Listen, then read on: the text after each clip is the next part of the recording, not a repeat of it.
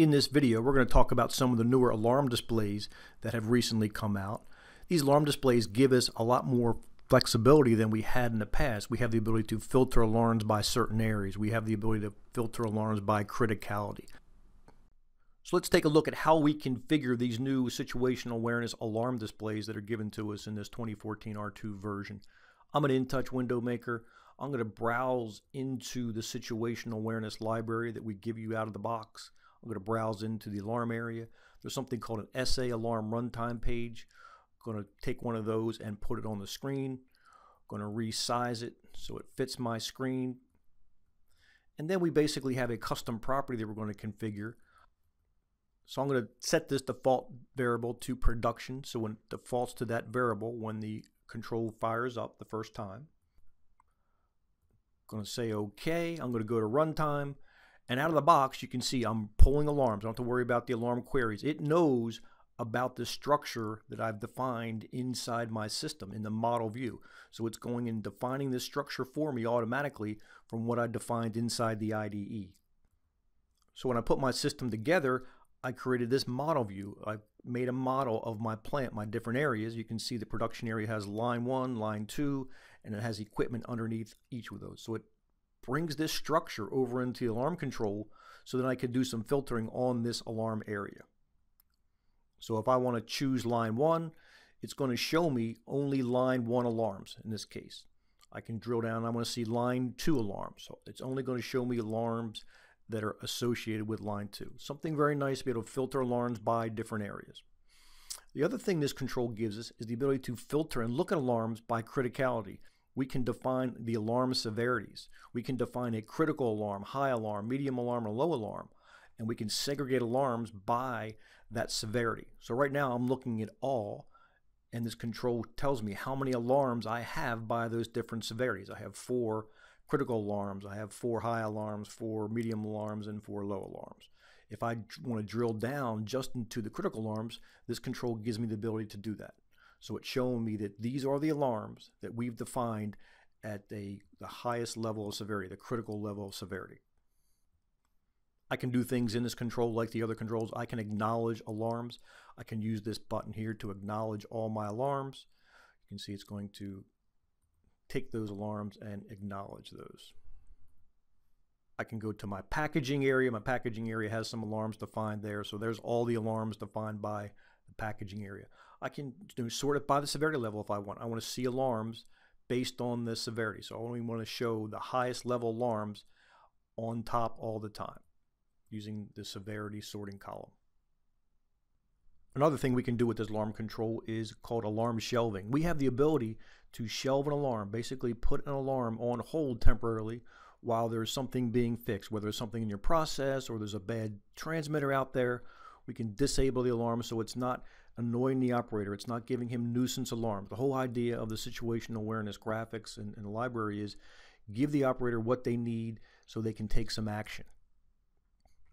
So if I look at this display here and I have these alarms being displayed, I can select, say, multiple alarms. Let's say I want to shelve this. I right click and I say I want to shelve the selected alarms and say, you know, bad wire. So now I have the ability in this control to see what alarms have been shelved, which is important. I want to know what alarms are not being used at this time. So it's telling me, hey, these speed signals here have been shelved and you saw I gave it a time. So in an hour's time, it's going to come back and be a valid alarm again. So I also have the ability in this control to say I want to unshelve all my alarms to put them back in production. Just say OK. So now it's going to take them out of the shelve list. It's going to put them back in the standard alarm display and those alarms are active again. This control also allows me to look at recent events. An event is defined as an operator's action if he's changing a set point or acknowledging alarms or shelving an alarm. So those things are logged to the system so I can look at the recent events that happened using this control. So if I click on this event tab, you can see that these are the alarm shelve commands that I have given it recently. You can see I also changed the speed of a set point.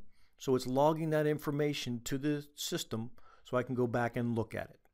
So that is basically the new control, the situational awareness control to look at current alarms, current events, shows you a lot more functionality than we had in the past. The ability to drill in, filter by different areas, drill in, filter by different criticality, looking at the shelving of alarms, looking at events, a lot more information than we had in the previous alarm controls that we had.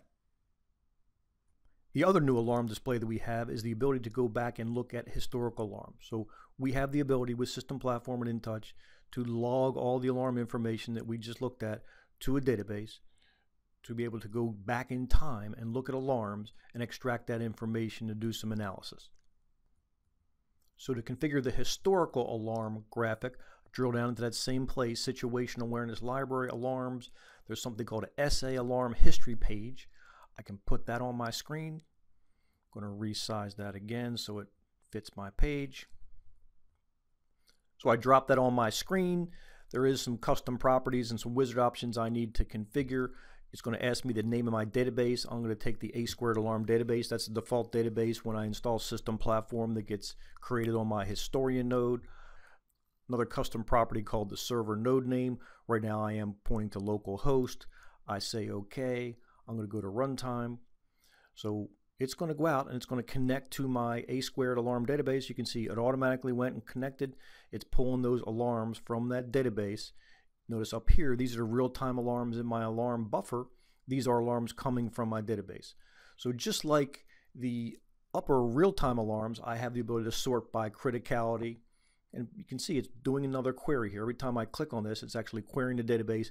And Also has the ability to go back and look at those events right? So something we were looking up here, the events, but all those events, every time I do something from the operator perspective, I change a set point or I shelve an alarm or I do anything that the operator does, it's going to log that to my database so I can go back in time and understand what happened. You know, something happened at two o'clock in the morning. I can use this to go analyze this. You know, if you're in the pharmaceutical world, this is required to be able to log all operator actions to a database. So that's an overview of the two different new alarm displays that we have. The ability to collect real-time alarm information, bring it in the grid, the ability to filter it based on criticality, based on area. I have the ability also to go extract that information from the database, do some additional filtering on this, look at the events. Thank you for watching today. Need to learn more about this and other InSource products? Check out our training tracks designed to guide you down your learning path for InSource products. Whether you're using a classic InTouch and Historian architecture or using System Platform, we have a track to help you get the most out of your software investment. To register or learn more, click the link in the video description below. Thanks for watching this InSource video.